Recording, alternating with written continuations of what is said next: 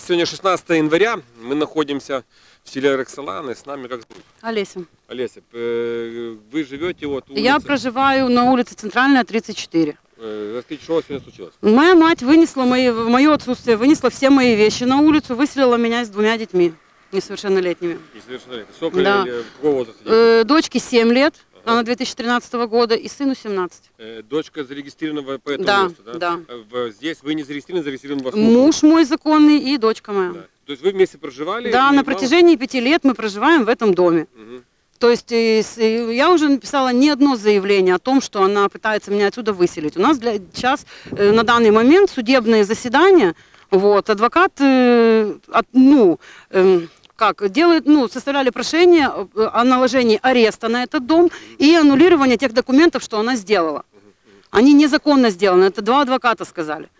Вот, и мое отсутствие, пока мы с детьми возили, ну, ездили в гости, я вышла и все. Мы вот приехали, все вещи на улице, в дом зайти не могу. Меня туда никто не пускает. Ну, в чем подвигают ваши конфликты? Ну что, вы Она ругаете? хочет быть единственной хозяйкой этого дома. Она всем говорит, это мое. Да. А сын ее ваш муж, да? Нет, э, это моя родная А, мать. мама, да. да? А мой муж является співвластником этого же майна, понимаете? А скажите, Вот. пожалуйста, а вот э, вы, это ваше, у вас есть еще какие-то сестры, братья? Э, у меня есть брат родной, он проживает в городе. То есть он сюда вообще, ну, как бы здесь ничего не имеет и нет. А девочку сейчас кто забрал? Мой брат родной забрал Он забрал девочку. в Одессу, да, да? потому что, ну как, на улице мороз, мы два часа уже стоим здесь, нас никто не пускает, вот все вещи вынесли. Техника, компьютер, все на улице, документы были в доме. Как бы ничего, все это валяется вот на улице, как ненужная никому вещь. Мы не можем попасть в дом. У меня дочка в школу здесь ходит с первого класса. Сын закончил 9 лет Этот школу. адрес в школе указан, что Конечно, да, да. выставила. Сын 9 лет уч- учился вот в этой школе, 9 лет. Мы тут проживаем в Роксоланах 12 лет. А именно в этом доме мы проживаем 5 лет. А до этого дом был оформлен на... До этого дом не был оформлен, он считался как нахалстроем. Оформлен дом был вот этот вот старый. Но он, когда мать моя тут проживала одна, он сгорел. Да, есть акт о том, что это был подпал. Я не знаю, что там конкретно произошло, мы здесь не проживали. И потом мы все заселились в этот дом. И проживали, как бы, хотели разделиться по-человечески, без судов, без ничего. Ну, у нее вот такое свое мнение, и она решила, что среди зимы она имеет право вынести наши вещи на А улицу. какого возраста мама? Есть, 65-го года она. 65 года, да? Да. Она не- Она не старая, это не маразм. Она просто хочет быть единственной наследницей, хозяйкой, как она говорит. И документы она оформила через фирму в Малиновском районе, э, без э, участия сельского совета, без участия, без раздела имущества, понимаете? Раздела майна не было. Она вот себе решила, что она отгородилась, вот эта фирма ей помогла сделать документы. Но адвокат, посмотрел на эти документы, сказал, что эти документы сделаны незаконно. Ну хорошо, давайте будем пробовать к ней достучаться. Все-таки дети на улице, вот мы же не ее можем. сын вышел. А.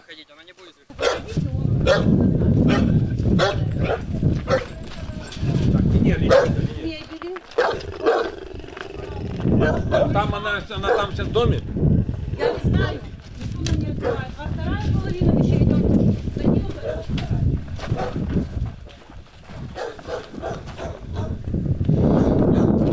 Вот вся остальная. Вещи там. Алло.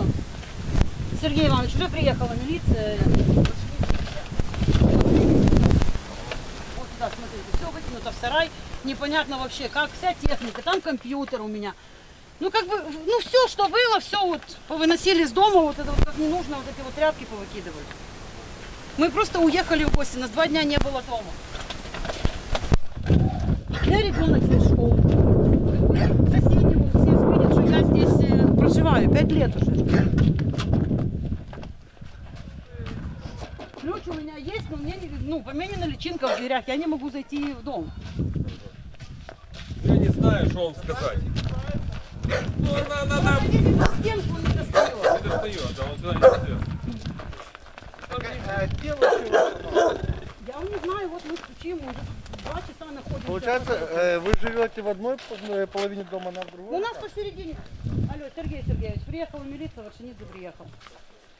Да, да, хорошо, мы вас ждем. И, э, э, квартирный вопрос всех поругал. Это плохо, что вот когда близкие люди начинают э, спорить между собой, за выгонять детей на улицу, это нехорошо.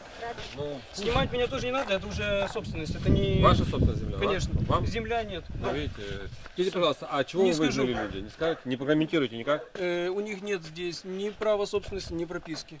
Но она уверяет, что ее семилетняя девочка прописана. Прописано по адресу, по адресу Центральная 34. Так, Это адрес Центральная 34Б. Б. Б. Я сейчас наберу А кто адвоката, этот адрес если вы адвокат. А кто этот адрес присвоил, вы можете обратиться, если вам интересно, вышестоящий орган. Мгм. Мгм. А что, кому-то можно зайти? Э, да, конечно, вы можете пройти. Хорошо. Так Э, отрезать. закрывайте дверь. Это брат ваш? Да, это мой меньший брат. Это родной брат? Да. И ж- а чего он не, не дружите, да?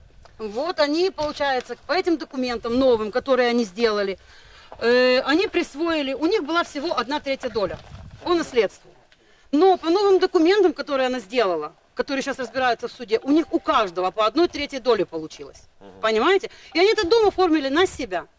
Давний семейный конфликт вырос, перерос в то, что одна сторона конфликта в тайне от другой стороны сделала документы и выставила родную дочь мама на улицу. Дом имел номер 34, э, это была летняя кухня, которая не имела отдельного адреса. Ну, каким-то образом э, мама в тайне от дочери сделала документы на этот дом и присвоила ему адрес 34Б, улица Центральная, село Роксоланы. В связи с этим теперь эти два рядом э, стоящих дома, раньше были одним адресом, теперь два рядом стоящих дома имеют два разных адреса. И э, Лесе приходится их оставаться на улице, полиция ее не может в, в дом заселить, потому что право собственности на совершенно другого человека. Что делать дальше? Ну, в этом может разобраться теперь только суд. Э, И вселить ее сегодня не вправе и никто не может. Будем следить за ситуацией, посмотрим, как будет разбираться в суде, в Ведёпольском суде, судья Бочаров рассматривает этот вопрос. Надеемся, суд поставит какую-то истину, чтобы здесь э, разрешить этот конфликт семейный. Роман Варшнидзе, Андрей Хлопчик, Альтернатива.орг.